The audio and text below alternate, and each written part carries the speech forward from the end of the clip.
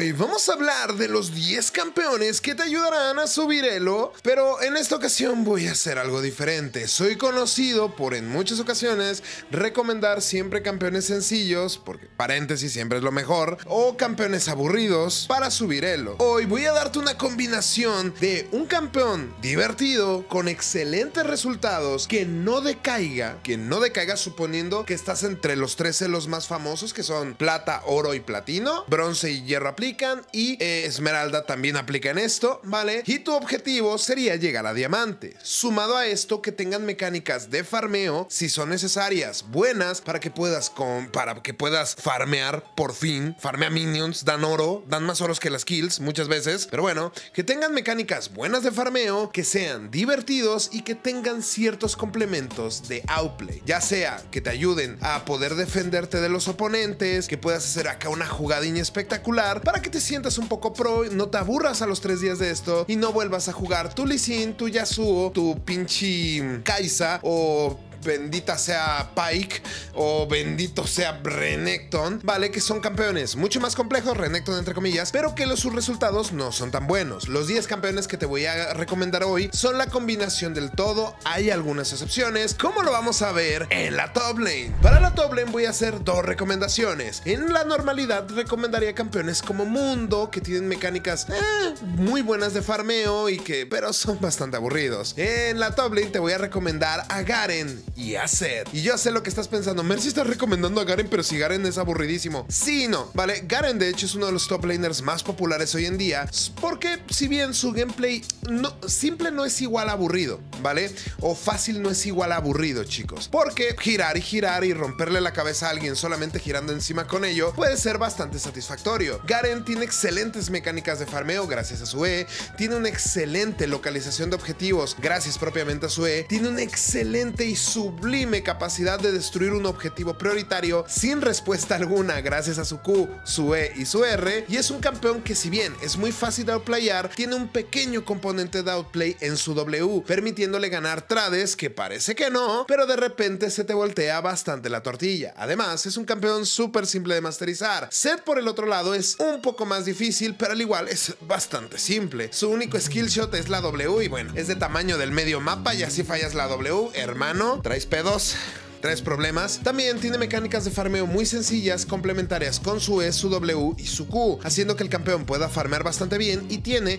resets de autoataque en su propia Q, haciendo que el last hit sea bastante sencillo. Sus mecánicas de outplay las tiene en la R y en la W, que es un escudo que hace daño verdadero, no mames, y una R que permite salvar cualquier teamfight. Si hablamos de esto, ¿cómo draftaríamos cualquiera de nuestros dos campeones? Si tenemos una línea segura y que podemos ganar, jugamos Garen. Si necesitamos complementar al equipo, jugamos set. Ese es tu juicio y con eso créeme, y cumpliendo los básicos de no morir mucho y farmear bien, empezarás a subir el. Para la jungla, normalmente aquí recomendaría cosas como Amomo, cosas como Ramus, que Ramus es el mejor campeón de LoL actualmente, pero sé que se van a aburrir a las dos partidas de ellos, así que les voy a recomendar a Nocturne y a Echo. Dos campeones con dos nichos muy diferentes, pero con una funcionalidad similar. Destruir un objetivo prioritario y dejarlo en las patas. Echo, si bien es un jungla muy famoso, sus resultados no siempre han sido los mejores, pero como ha ido evolucionando al meta, le ha venido muy beneficioso y haciendo que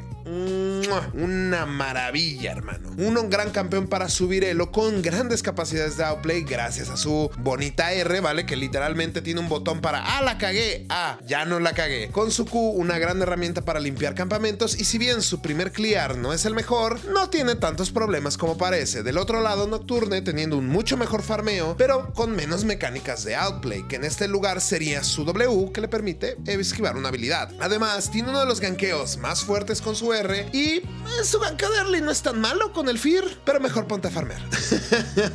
Moviéndonos con el medio tenemos, bueno, aquí normalmente recomendaría a mi amado Malzahar, que muchas gracias a todas esas personas que me han ido a escribir en Instagram, Twitter, diciéndome, Mercy, subí hielo, debí jugar Malzahar desde hace años, porque este es la, es la intención de este video, que agarres estos campeones, que sean tu pool de champs principal y empieces a subir elo, porque son simples y aprovechan mucho si es un jugador bueno, porque si ya eres bueno mecánicamente, estos campeones lo único que van a hacer es uh, hacerte explotar, porque en este nuevo meta funcionan bastante bien. Los dos dos nombrados son Fizz, como tu asesino, y Aurelion Sol, tu mago de control. Aurelion Sol desde su rework se volvió un campeón mucho más fácil de jugar, pero para nada aburrido, gracias a las mecánicas de rotación, resets y daño que tienen. Es un campeón bastante entretenido de jugar y que puede destruir una partida por sí mismo. Del otro lado tenemos a Fizz, que es un campeón, entre comillas, más mecánico porque sus mecánicas de farmeo no son las mejores, aunque sí son buenas. Güey, tiene un reset de autoataque en la W, güey, y daño en área en la E, no es que sean las peores, simplemente que los jugadores de Fizz suelen ser muy malos farmeando. Pero sus mecánicas son lo suficientemente buenas para poder tener un farmeo cómodo. Eh, lo malo es que es un campeón a melee y a veces cuesta eso, o sea, vamos a decir que Fizz salta un poquito la regla en eso, pero a cambio te permite farmear campeones, siendo uno de los campeones que más burstean y que más pueden destruir una de carry de escalado. Ah, que tu Jinx está fedeada, no hay problema. Uy, que esa vaina está fuerte, no hay problema. Un campeón que puede destruir una partida de manera diferente a Aurelion Sol, pero yendo más por un objetivo prioritario.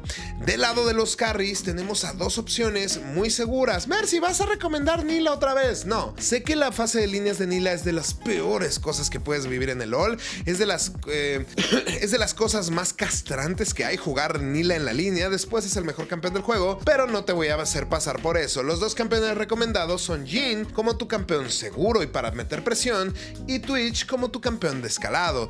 Viviendo un meta mucho más tirado a juego tardío, campeones como Twitch, que es un hiper carry, te va a venir perfecto para poder jugar esas botlines complejas si sabes jugar defensivo, y Jin si sabes jugar agresivo, que ella va a ser común, pero no tanto, ¿vale? Va a ser un poquito diferente en ese aspecto. Sumado a todo esto, Twitch es muy bueno cuando no tienes dúo. Muchos dirán, ¿por qué Mercy si es un campeón de dúos? Sí, pero cuando tu soporte es un pendejo, lo único que tienes que decir es ponme un escudo y ya. Pégate Yana, Lulu, Yumi incluso, y simplemente déjame cargar a mí que yo voy bastante fuerte. Del otro lado, Jin es un campeón mucho más complementario y útil para las teamfights con su W, sus trampas y su R, haciendo que su juego de teamfights sea muy bueno y te permita ganar un poco más si es necesario. Por último, para los soportes, dos opciones muy diferentes a las que siempre digo. Ay, jueguen Swain, jueguen Zona, jueguen tal. No.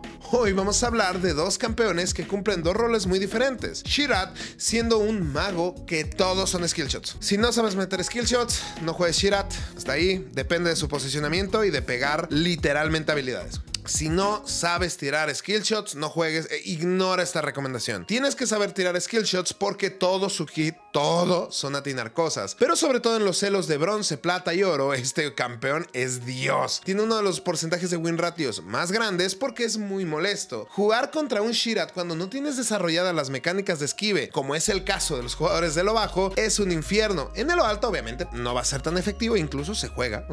Mira, por ese lado no estás jugando un noob champ, como siempre dicen, si es que recomiendas Noob Champs. Quita la pelasta. Aquí no estoy recomendando, estoy recomendando campeones sencillos. Bueno, Garen sí podría considerarse un noob champ, pero chinguen a su madre si me lo recuerdan. Del otro lado, Sherrod es un campeón de mucho daño, puede ser un carry por sí mismo, pero claro, sirve bastante bien con su nuevo cambio a la R, porque lo bufó muchísimo. Ahora, al tirar cuatro balitas que hacen un montonazo de daño, en ciertos puntos de la partida te pueden servir para eliminar a la sobraca enemiga. Nomás la ves y le tiras 5 eh, Rs y a chingar a su madre. Es una gran opción para aprender a masterizar. Del otro lado, Tarik es una excelente opción contra todos los soportes de gancho. Todos los soportes a melee, Tarik se los come. Y a pesar de que la mayoría de las personas perciban a Tari como un campeón aburrido, créeme que no lo es. Una vez aprendes el combo básico de, el combo mágico de básico, básico, Q, básico, básico, Q, tazo a mi setup, es buenísimo porque es muy divertido el ver cómo curas a tu equipo, estuneas, permites que vivan y el otro equipo no puede hacer nada si no se hace unas buenas cortacuras en tu contra. Tarik...